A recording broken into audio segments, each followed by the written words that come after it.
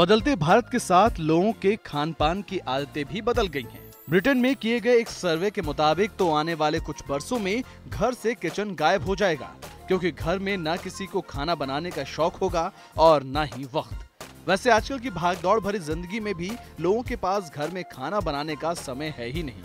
यही वजह है कि लोग महीने में सात दिन बाहर खाना खाते ही हैं, या घर बैठे मोबाइल पर अपनी पसंद का खाना ऑर्डर करते हैं। खर्च करने लायक पैसा होने की वजह से ग्राहक महीने में औसतन पच्चीस सौ रूपए बाहर के खाने पर खर्च करते हैं। इसके लिए महीने में सात बार रेस्टोरेंट या कैफ़े जाते हैं। ये खुलासा हुआ है national restaurant association of India, यानी एनआरएआई के 24 शहरों में किए गए सर्वे में। इसके मुताबिक, भारतीयों के खान पान का बदला हुआ अंदाज सामने आया है।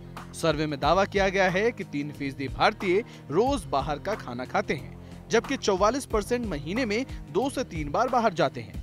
वहीं 27 फ़ीसदी लोग ऐसे भी हैं जो हर हफ़्ते बाहर का खाना खाते हैं। इस मामले में सैतीस फ़ीसदी महिलाएँ और तिरसठ परसेंट पुरुष होते हैं। अब आजकल के युवाओं को बाहर का खाना क्यों पसंद है? ये उनसे ही जान लेते हैं। आजकल का लाइफस्टाइल इतना कॉम्प्लिकेटेड हो गया है कि अभी लोगों के पास टाइम नहीं है घर पे खाना बनाने का। ट्रेडिशनल फ़ूड जो पहले मिला करता था, वो आजकल इजीली अवेलेबल नहीं होता है। घर पे काफ़ी थक जाते हैं जाने के बाद तो हमें बाहर से सब कुछ ऑर्डर करना पड़ता है, जो भी स्विगी या जोमेटो रहता है। तो अभी यही ट्रेडिशन हो गया है।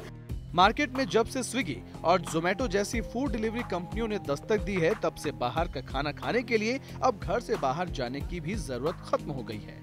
फ़ूड डिलीवरी करने वाली कंपनी जोमेटो का दावा है कि उन्हें हर महीने दो करोड़ दस लाख ऑर्डर मिलते हैं। वहीं स्विगी को हर महीने दो करोड़ ऑर्डर मिल रहे हैं। हर ऑर्डर औसतन तीन सौ रूपए का होता है। ये तो रही बात कि लोग खाने कहाँ जाते हैं या खाना घर पर ही ऑर्डर करते हैं। अब आपको बताते हैं भारतीय लोगों को खाने में ज़्यादा क्या पसंद है, शाकाहारी या मांसाहारी खाना। एनआरएआई के सर्वे में सामने आया है कि उत्तर और मध्य भारत के तिरासी फ़ीसदी लोग शाकाहारी खाना ऑर्डर करते हैं। पश्चिमी भारत के इकहत्तर फ़ीसदी लोग शाकाहारी खाना पसंद करते हैं, जबकि पूर्वी भारत में संतावन फ़ीसदी लोगों को नॉनवेज खाना पसंद है। दक्षिण भारत के सत्तर फ़ीसदी लोग नॉनवेज ऑर्डर करते हैं। यानी देश के अलग अलग हिस्सों में रहने वाले लोगों के खान पान की आदतें भी एक दूसरे से काफ़ी जुदा है। बदल के, बदलते भारत के साथ लोगों का लाइफस्टाइल भी बदल रहा है और ये देखा जा रहा है कि ज़्यादातर लोग आजकल जो वर्किंग पॉपुलेशन है, सब अपने कामकाज में इतना व्यस्त है कि उनके पास जाके खाना बनाने का समय नहीं है। तो लोग ज़्यादातर दे हमें ये देखा जा रहा है कि ज़्यादातर लोग ऑर्डर करके खाना पसंद करते हैं। हम लोग का खाना का पैटर्न और हम लोग कैसे खाना नहीं बनाते हम लोग ज़्यादा प्रेफर करते हैं खाना ऑर्डर करना। ब्रिटेन का भी एक सर्वे है कि अभी जो हम लोग हैं कॉमन पीपल वो ज़्यादा खाना प्रेफर करते हैं बाहर से।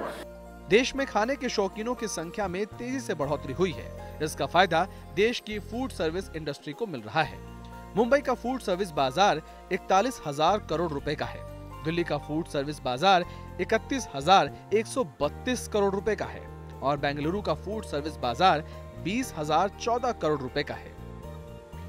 ये आंकड़े बताने के लिए काफ़ी हैं कि भारत का फ़ूड सर्विस बाज़ार तेज़ी से विकास कर रहा है और अभी इस सेक्टर में ग्रोथ की भरपूर संभावनाएँ हैं।